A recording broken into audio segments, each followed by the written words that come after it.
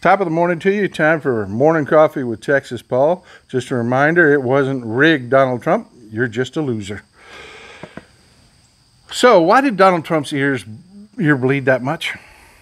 Now, I know it's been a while, but he's still covering it up. And it, it, it, why did it bleed so much? Ears don't bleed that much. Ask, go ask anybody that's had their ears pierced multiple times. They'll tell you it just doesn't bleed that much. There aren't that many blood vessels in the ear. But his, he bled like a gut shot hog. Why? Why? You know, Evander Holyfield, uh, Mike Tyson bit a big chunk of his ear off.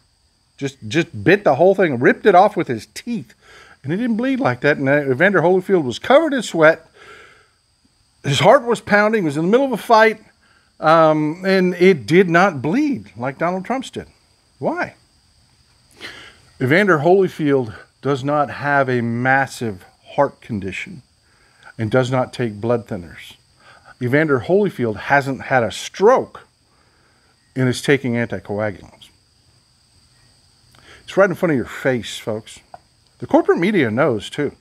They're letting him hide his medical records like they let him hide his taxes.